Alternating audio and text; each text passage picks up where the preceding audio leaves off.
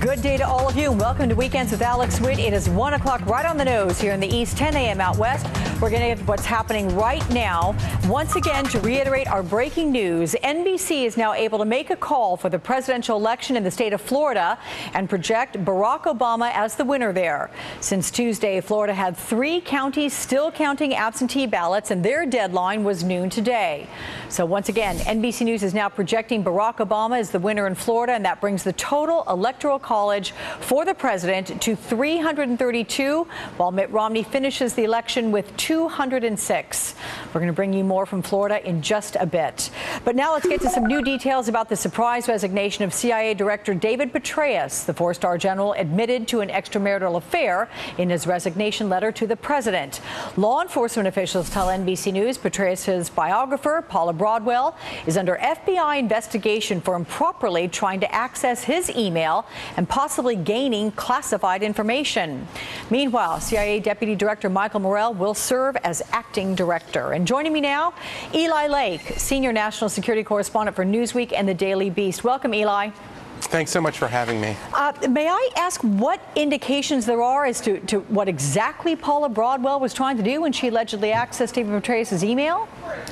Well, at this point, a lot of the details are still murky and they are coming in, and Paula Broadwell has chosen not to talk to the media yet. But what the allegations are is that not only was she having an affair with the director, but that she was trying and she had uh, access in some ways to his personal Gmail account. That Gmail account is not the same as his uh, as the classified CIA email, but it can provide the kinds of details that would be extremely interested, interesting to America's adversaries, such as his travel schedule, uh, rumors about other sort of senior officials in the uh, Obama administration and other personal details of the director's life that uh, really would be a security risk if they got into the hands of, mm. say, the Chinese uh, military or things, something like that. Right.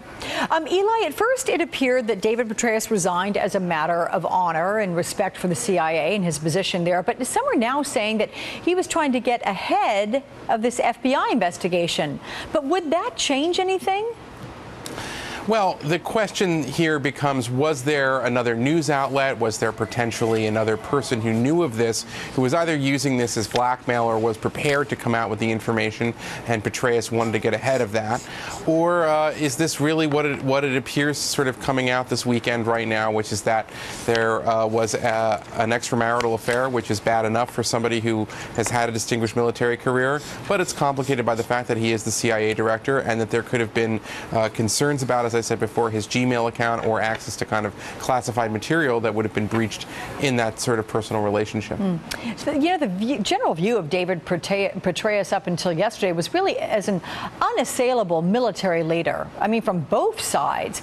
Was there any indication from your sources that that wasn't the case? I mean, relative to what was happening here?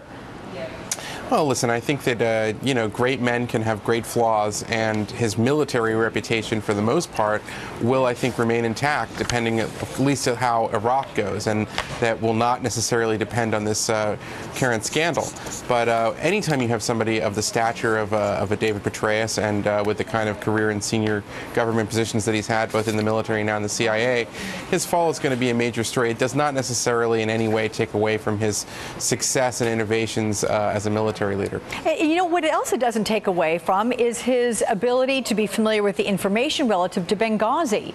Do you expect that he will appear on Capitol Hill? I mean, what would prevent him from testifying as scheduled about the Benghazi affair?